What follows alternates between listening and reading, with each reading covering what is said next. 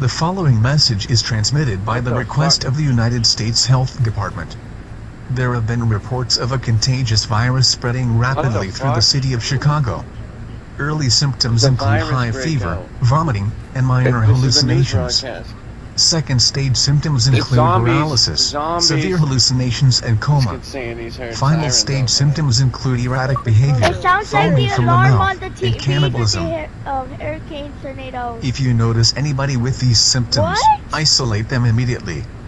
The state of Illinois recommends you stay indoors at Dude, all times until further out. notice. No. There is no known cure for the virus Uh, at this time. Once again, if you or anybody you know have any of these symptoms, isolate them immediately. I don't immediately. think this is a drill. The United States Department of Health expects the virus to spread to Okay, surrounding uh, states within two days. Turn Emergency it off! I don't evacuations wanna of the surrounding anymore. states are expected to begin within the next three hours.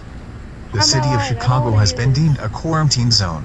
The following message is transmitted by the request of the United states? States Health They're Department. In- There have been reports of a contagious virus spreading lying. rapidly Just through the city of. Chicago. I know, dude. Early I, I, don't, I symptoms don't include about high fever, this. vomiting, I care and about minor it. I just don't want to get hallucinations. Second stage go. symptoms include paralysis, severe hallucinations, and coma.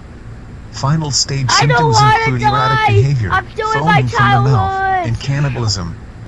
Dude, I don't care. I If you notice anybody with these This is zombies. symptoms, isolate them immediately. The state of Illinois recommends you stay indoors at all I'm times until further notice. think I'm gonna get off There here is no known cure for the virus at this I'm time. gonna go. I'm gonna Once live again, in the if you or anybody you know have any of these symptoms, isolate them immediately. Yes. No. No. The no. We United have States to hear about Department of Health expects the virus to spread to Okay, I'm surrounding tell states my within whole two family days. about this. Okay, Emergency bye. evacuations of the Hold on. surrounding states are expected to begin within the next three hours. The city of Chicago has been deemed a quarantine zone.